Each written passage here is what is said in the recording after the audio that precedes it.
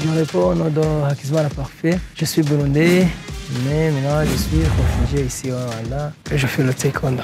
J'ai préféré à quitter le Burundi en 2015 parce que j'ai vu des choses terribles. Premièrement, quand j'étais petit, en tant que petit, j'ai été pressé une barre dans mon bras gauche et mon- ma mère a été fusillée, a été morte. Mon pays, c'est très très difficile. Quand nous arrivons ici au Rwanda, la vie était très très compliquée parce que nous vivons dans le tent, nous n'avons pas de quoi boire, de quoi manger. Et le sport m'a aidé à être simple, à respecter les autres et aussi m'a aidé à être fier, à être content, à avoir une joie que je n'avais. Ils ne font pas perdre l'espoir dans la vie. Il faut être courageux et aussi être patient parce que des, choses, des bonnes choses se trouvent devant et non pas derrière.